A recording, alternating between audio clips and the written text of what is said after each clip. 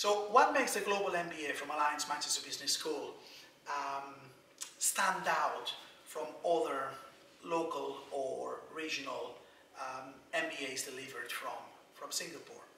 Well, first of all, ours is an incredibly global program. We attract students from over 100 nationalities, as well as we use academics from many different uh, countries.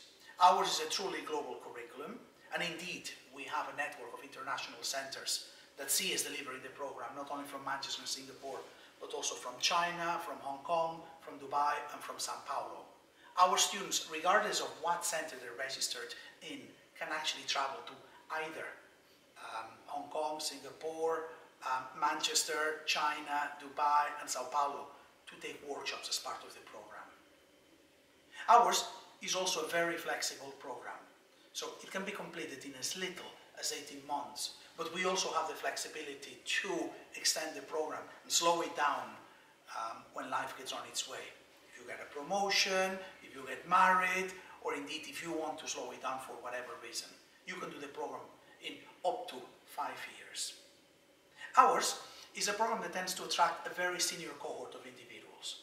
So we tend to attract students here in Singapore with a minimum experience of 10 years, many of them in mid to very senior management positions.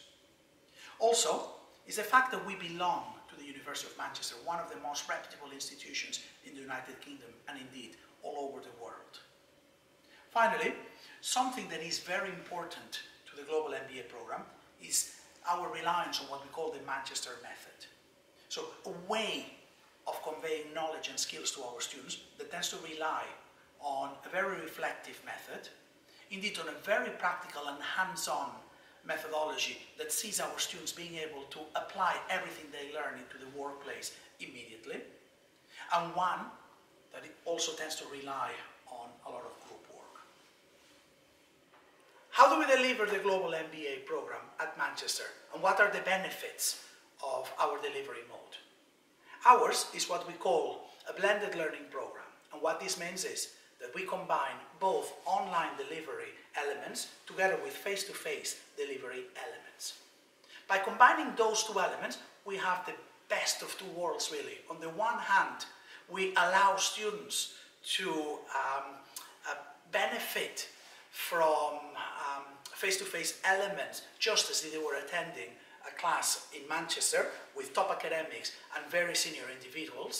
At the same time, we give online elements that provide part-time students with the flexibility of being able to get that program without having to compromise their own career progression. Finally, the fact that our program is delivered globally, the fact that we deliver this program here in Singapore just as we do in Manchester, in Shanghai, in Hong Kong, in Dubai, or indeed in Sao Paulo, allows us to be able to give students that flexibility and that global outlook that they require out of a top MBA program. So what is the MBA doing to remain at the forefront of business and management education? Well, our world is becoming smaller and smaller and smaller by the day. MBAs need to be truly global programs that expose students not to local problems and local solutions, but to global problems and global solutions. Likewise, the type of audience that MBAs are being delivered to has actually changed over the last couple of decades. No longer is the case that the vast majority of our students decide to do a full-time MBA, but many of our students instead need to combine the MBA with their own career progression. Flexible modes of delivery have therefore proliferated, and it's very important that you are in a position to choose an MBA that really works for you and that you can combine with your own personal and professional needs. Finally, curricular developments are extremely important to stay on top of all um, uh, future developments in the economy. So we hear very often that in 20 years time, half the jobs that exist today will not be in existence. So what should we be teaching the next generation of leaders? Those of you who will be leading the world in 10, 20, 30 years time. We need to make sure that we teach you the right skills that would allow you not only to navigate that context of uncertainty, but to thrive in it. For that reason, we need to teach you how to collaborate with others, how to better communicate, but we also need to ensure that you can actually be creative thinkers, that you can think outside the box, and indeed also that you can critically think, that you can look at the world in a totally different perspective. Finally, collaboration, communication, creativity, and critical thinking should actually give you confidence as a leader of tomorrow.